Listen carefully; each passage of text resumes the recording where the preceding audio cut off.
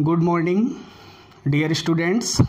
मैं Amit Dwivedi BBS inter college Shivkuti Prayagraj. बच्चों, आज पुनः मैं साइंस के बायोलॉजी भाग में क्लास टेंथ के लिए पुनः उपस्थित हूँ। और पिछले लेक्चर में मैंने आपको बताया था कि मैं डाइजेस्टिव सिस्टम पर चर्चा करूँगा, ह्यूमन डाइजेस्टिव सिस्टम पर, मनुष्य के पाचन तंत्र पर।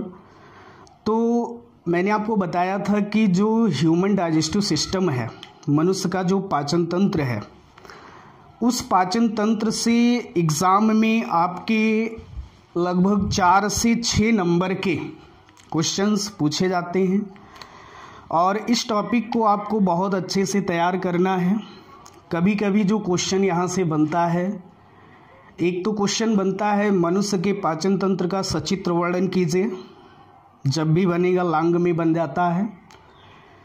या क्वेश्चन बनता है कि मनुष्य के आहार नाल के विभिन्न भागों में भोजन के पाचन का सचित्र वर्णन कीजिए। या कभी कभी छोटे छोटे पार्ट में क्वेश्चन बनते हैं कि लीवर का कार्य क्या होता है अमाशय का कार्य क्या होता है, शरीर की कौन सी ग्रंथि, मिश्रित ग्रंथि होती है। तो इस टाइप के क्वेश्चंस कई बार बोर्ड एग्ज़ाम में बने हैं। और इस टॉपिक को आपको बहुत ही केयरफुली समझना है। अच्छे से आपको समझ, समझना है। और आइए एक एक करके हम इसके स्ट्रक्चर के बारे में आपसे डिस्कस करते हैं। आप जानते हैं, मनुष्य एक प्रकार से बहुकोशिकीय प्राणी है। इसके पहले आपने अमीबा में पोषण पढ़ा था। अमीबा आपका एक कोशिकीय प्राणी है। अब यहाँ पर आप बहुकोशिकीय प्राणियों की चर्चा करने जा रहे हैं, विशेष करके मनुष्य में। तो जैसा कि यहाँ पर लिखा है, मनुष्य की पाचन तंत्र की संरचना। तो नॉर्मली यहाँ पर हम आपको पाचन तंत्र का स्ट्रक्चर बताने का प्रयास करेंगे। उसको आप ध्यान से समझिएगा। ध्यान दीजिएगा बेटा। Structure of human digestive system. मनुष्य के पाचन तंत्र की है ये संरचना। कुछ इस टाइप से आपका स्ट्रक्चर है।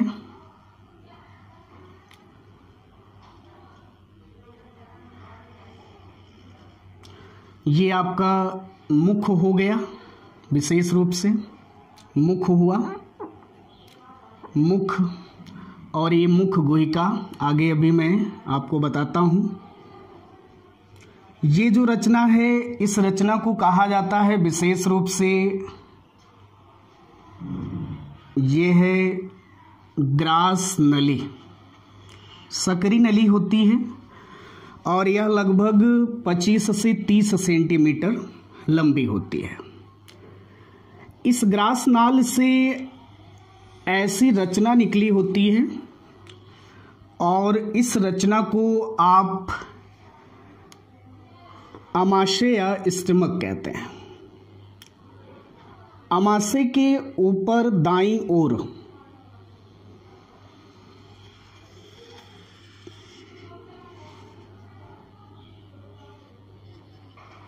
कुछ इस टाइप से रचना होती है।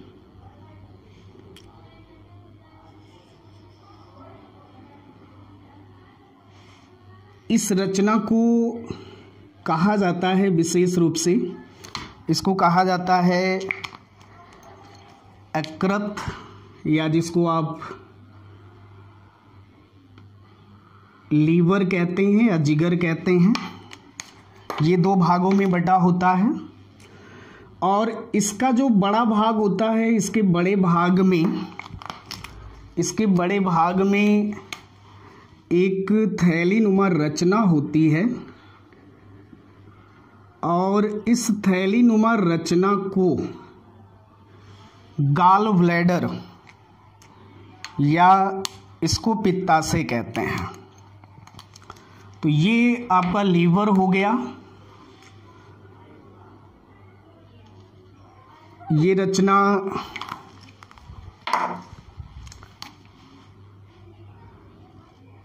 यहाँ से आमाशय आगे जा कर के ये छोटी आंत का भाग है। इसको विशेष रूप से ग्रहणी कहते हैं।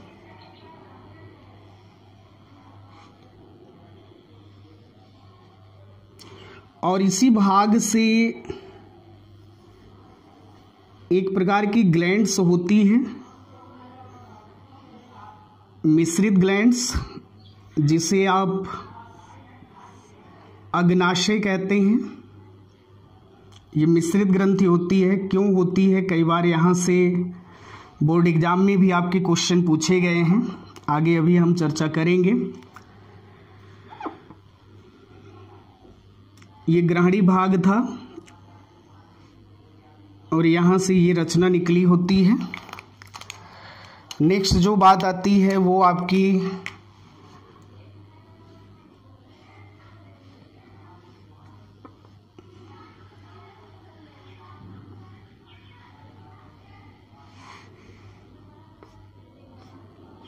ये बड़ी आंत है,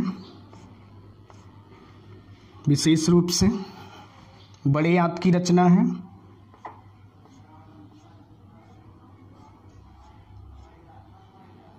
इस टाइप से है।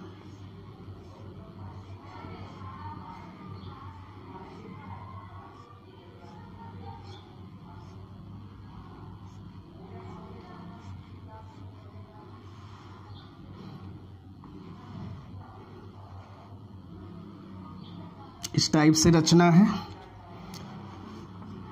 ये बड़ी आंत है मनुष्य की और इसी बड़ी आंत से ये एक अंधनाल जुड़ी होती है।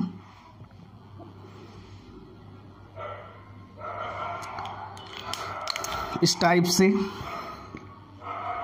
ये रचना हो गई आपकी, विशेष रूप से बड़ी आंत की।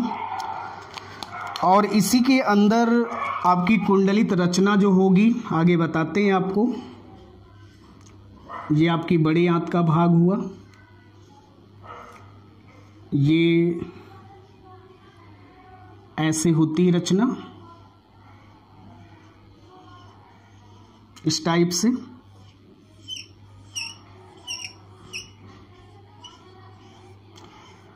जो बड़ी आंत है, इसके तीन भाग हैं। एक तो सीकम होता है, दूसरा कोलन होता है, और तीसरा रेक्टम होता है। इस टाइप से ये आपकी लार्ज इंटेस्टाइन हुई, और यहाँ से ये आपकी छोटी आते है और छोटी आंत लगभग छः से सात मीटर लंबी, सकरी और कुंडलित तो होती है। छः से सात मीटर नाम की छोटी आंत है, लेकिन ये लंबाई में क्या होती है? बड़ी होती है। लेकिन जो आपकी लार्ज इंटेस्टाइन या जो बड़ी आंत होती है, ये केवल 1.5 मीटर के आसपास क्या होती है? लंबी होती है। इस टाइप से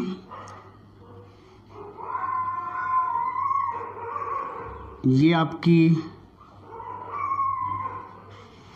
स्मॉल इंटेस्टाइन हुआ। और इसी भाग से ये कोलन की रचना है, कोलन है।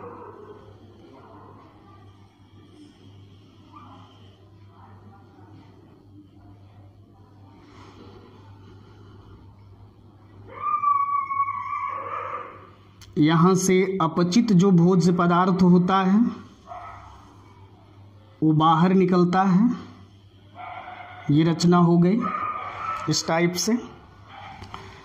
यहाँ पर बेटा एक ग्लैंड्स होती है और इस ग्लैंड्स को कहते हैं कर्णमूल। इस भाग में जीभ के नीचे संख्या में दो होती है। एक यहाँ ग्लैंड्स एक यहाँ। ये यह आपकी लार ग्रंथियाँ होती हैं।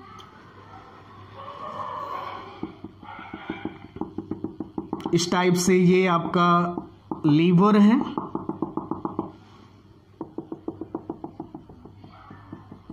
ये हो गया आपका स्टमक, जिसको आप अमाशय कहते हैं। तो ये रचना बेटा बन करके क्या हुई? तैयार हो गई। ध्यान दीजिए।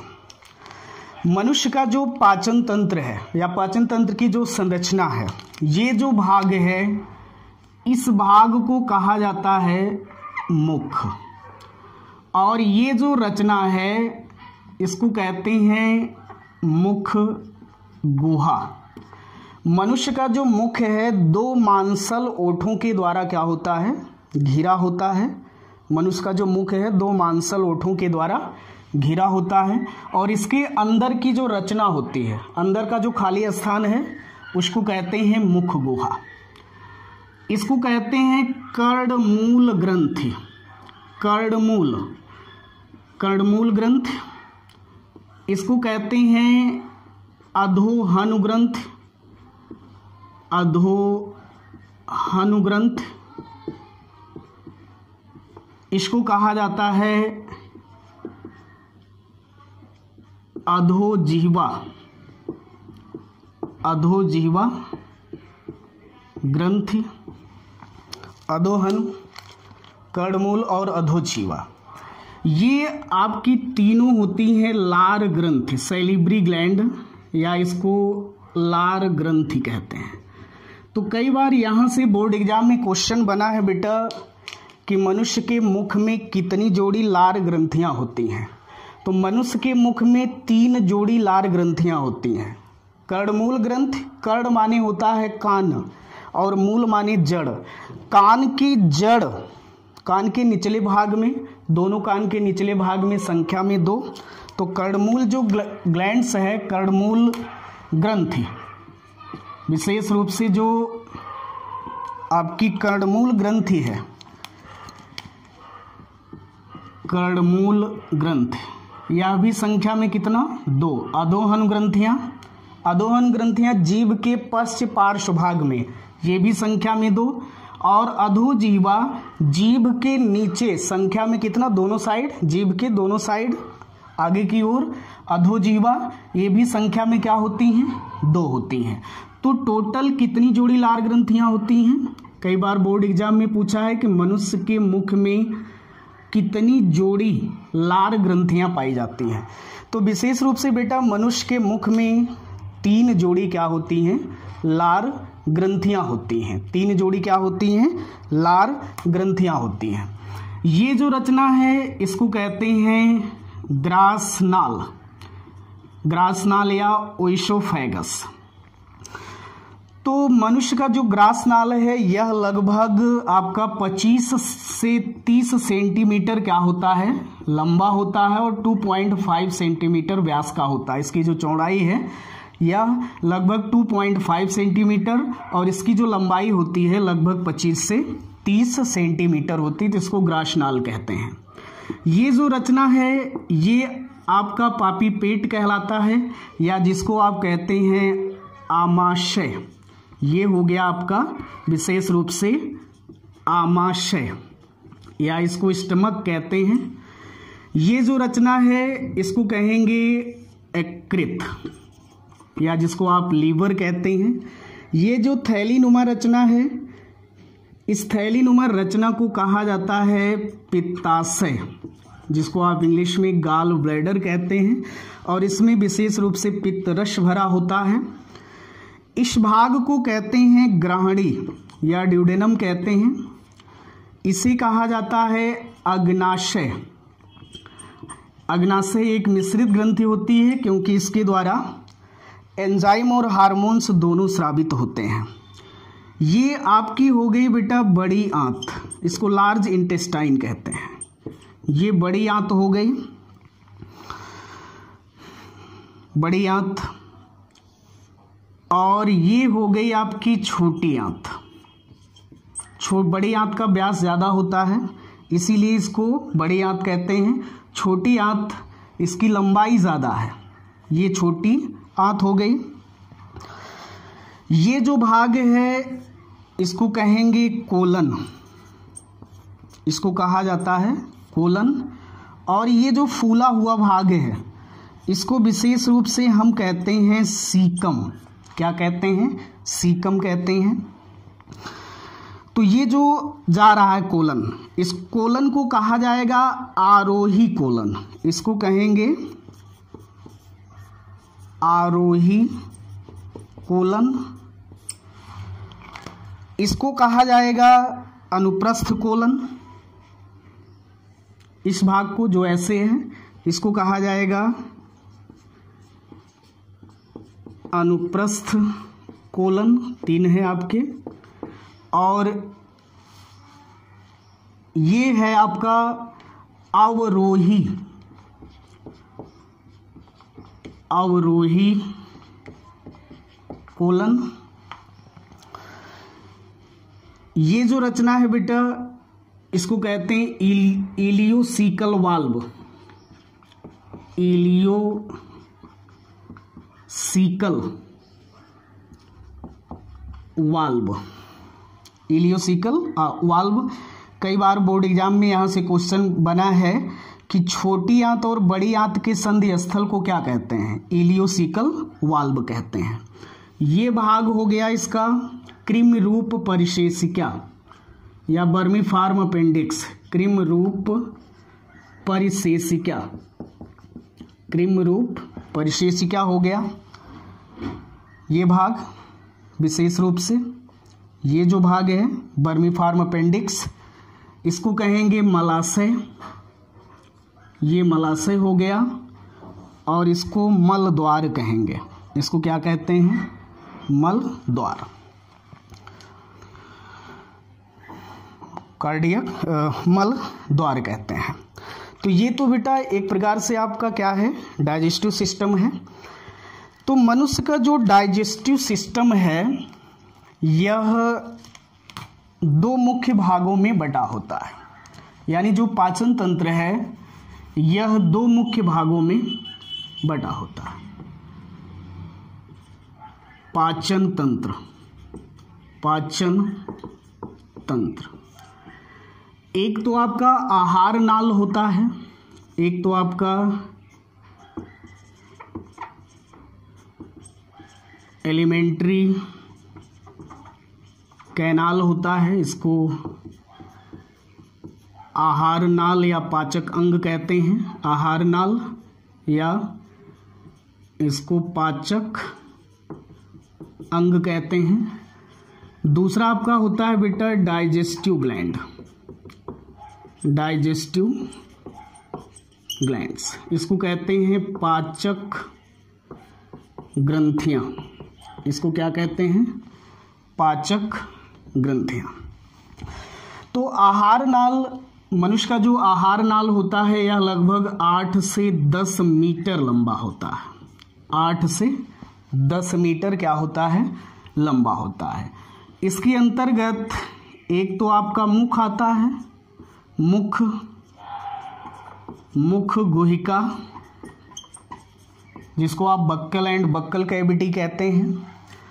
दूसरी आती है यहाँ पर ग्रशनी देखिए बेटा ये जो पॉइंट है, इसको आप क्या कहते हैं? ये भाग ग्रशनी कहलाता है। क्या कहलाता है? ग्रशनी।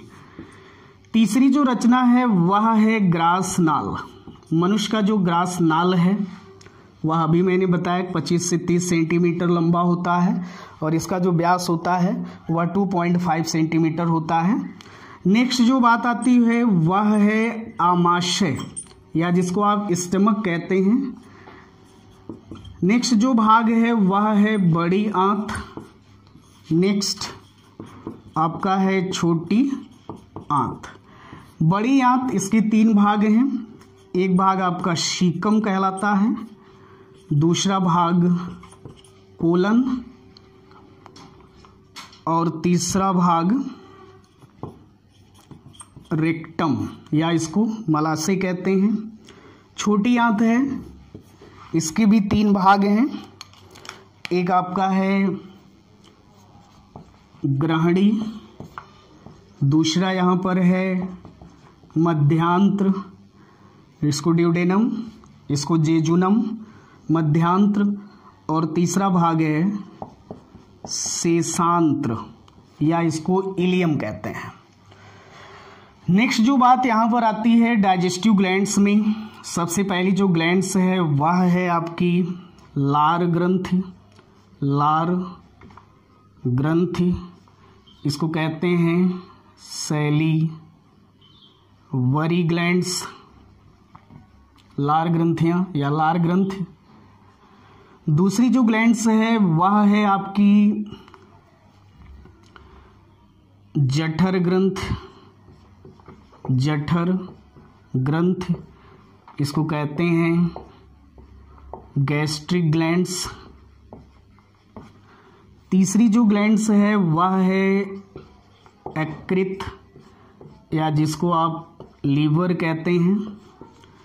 नेक्स्ट है अग्नाशय. अग्नाशय, इसको पेंक्रियास कहते हैं. और अंतिम जो ग्लैंड्स है, आंतरीय ग्रंथियाँ। या आंतरीय ग्रंथ, इसको कहा जाता है इंटेस्टाइनल ग्लैंड्स, या ग्लैंड, इंटेस्टाइनल ग्लैंड्स। तो ये आपका मुख मुख गोहिका हुआ, जिसको आप कहते हैं बक्कल एंड बक्कल कैविटी। इसको कहते हैं buccal and buccal cavity pharynx ग्रशनी, oesophagus, इसको कहा जाता है स्टमक। ये आपकी हो गई विशेष रूप से लार्ज इंटेस्टाइन, इसको कहते हैं लार्ज इंटेस्टाइन। और इसको कहते हैं स्मॉल इंटेस्टाइन बड़ी. स्मॉल इंटेस्टाइन यानी छोटी आंत. तो बेटा हमारा जो पाचन तंत्र है मनुष्य का जो पाचन तंत्र है, वो दो मुख्य भागों में बटा होता है। एक तो आपका आहार नाल होता है, या जिसे आप पाचक अंग कहते हैं। तो मनुष्य का जो आहार नाल है, वह आठ से दस मीटर क्या होता है? लंबा होता है। ठीक है? इसके अंतर्गत यह विशेष रूप से मुख से लेकर के रेक्टम तक एनस तक क्या होता है? फैला होता है। इसके अंतर्गत मुख मुख गुहिका ग्रसनी ग्रासनाल, अमाशय, बड़ी आंत और छोटी आंत, ये सारी रचनाएँ आती हैं। पाचक ग्रंथियों में ऐसी ग्रंथियाँ जो भोजन के पाचन में सहायक होती हैं, उन्हें हम पाचक ग्रंथियाँ कहते हैं। तो विशेष रूप से लार ग्रंथि। तो लार ग्रंथि तीन जोड़ी होती है। कर्णमूल ग्रंथ, अधोहन ग्रंथ, अधोजीवा। इसी कर्णमूल के द्वारा विशेष रूप से आपकी टॉयलिन एंजाइम निकलता है। विशेष रूप से टाइलिन एंजाइम निकलता है। नेक्स्ट है जठर ग्रंथियाँ या गैस्ट्रिक ग्लैंड्स कहते हैं इसको। ये विशेष रूप से यहाँ पर अमाशय में 1.5 से लगभग 4 करोड़ के आसपास छोटी छोटी गैस्ट्रिक ग्लैंड्स होती हैं, जिनके द्वारा जठर रस निकलता है। जठर रस में विभिन्न प्रकार के भोज्य पदार्थों को पचाने वाले एंजाइम्स होते हैं। नेक्स्ट यहाँ पर है लीवर शरीर का सबसे महत्वपूर्ण अंग है, शरीर की सबसे बड़ी ग्लैंड्स होती है। नेक्स्ट है अग्नाशय। अग्नाशय एक प्रकार की मिश्रित ग्रंथि होती है। इस ग्रंथ के द्वारा एंजाइम और हार्मोन्स दोनों श्रावित होते हैं, इसलिए इसको मिश्रित ग्रंथि कहते हैं, आंतरिक ग्रंथियाँ। इसके द्वारा भी आपके विभिन्न प्रकार के पाचक एंजाइम्स क्या होते हैं? श्रावित होते हैं। आगे इनकी हम एक एक करके चर्चा करेंगे। संक्षिप्त रूप में यहाँ पर समझ लीजिए। मुख मुख गोहिका बता चुके हैं, मनुष्य का जो मुख है, दो मांसल ओठों के द्वारा घिरा होता है और अंदर की जो थैली होती है, उसको मुख गोइका या बक्कल कैविटी कहते हैं। ग्रशनी ये टर्निंग पॉइंट होता है जहाँ से भोजन निकला जाता है। नेक्स्ट जो भाग है ग्रासनाल तो 25 से 30 सेंटीमीटर लंबा ग्रासनाल अमाशय, जो कुछ हम खाते हैं, इसी भाग में क्या होता है? संचित होता है कलेक्ट होता है, और इसी में सबसे पहले पाचन की प्रक्रिया क्या होगी? अच्छे से प्रारंभ होती है। नेक्स्ट आपकी है, बड़ी आंत, और नेक्स्ट आपका क्या है? छोटी आंत। तो बच्चों, इसके आगे नेक्स्ट एक एक करके टॉपिक को नेक्स्ट वीडियो में हम क्लियर करेंगे। आज के लिए बस इतना ही। तब तक के लिए थैंक यू धन्यवाद।